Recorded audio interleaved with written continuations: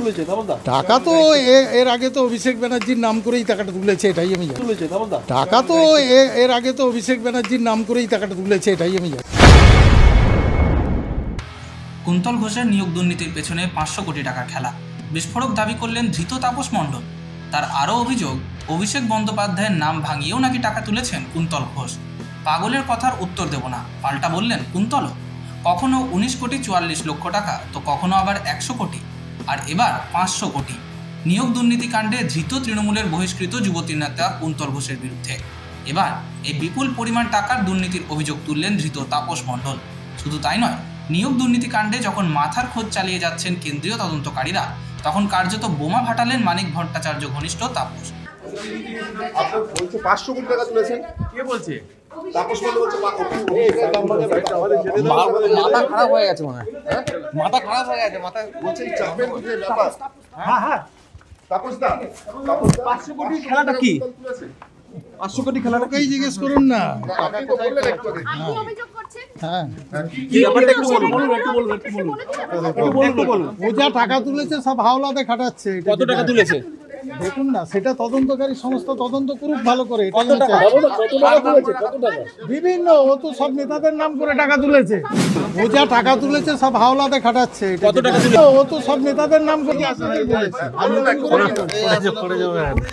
এর আগেও তো আপনাদের বলেছে। আমি একাই একাই।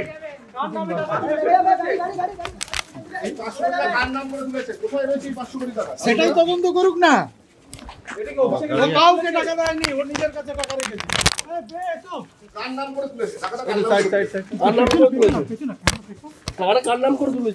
টাকা তো এর আগে তো অভিষেক ব্যানার্জির নাম করেই টাকাটা তুলেছে এটাই আমি জানি।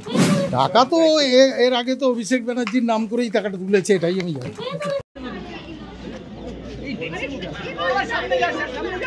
কুন্তল বাবু কি বলবেন?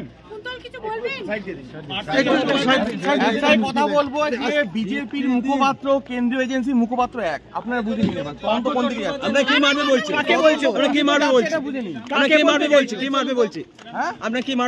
বলব কার নাম নিয়ে নিতে চাইছো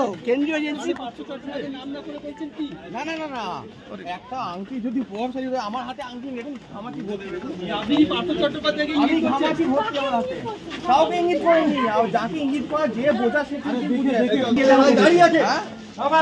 আমার কাছে কথা হচ্ছে একটাই দেখুন আমি আমার বিষয়ে কথা বলতে পারি সেটা হচ্ছে বিজেপির মুখপাত্র এবং কেন্দ্রীয় এজেন্সির মুখপাত্র এক তাহলে তদন্ত কোন দিকে যাচ্ছে সেটা ভাবুন। আপনারা মারার কথা না না না।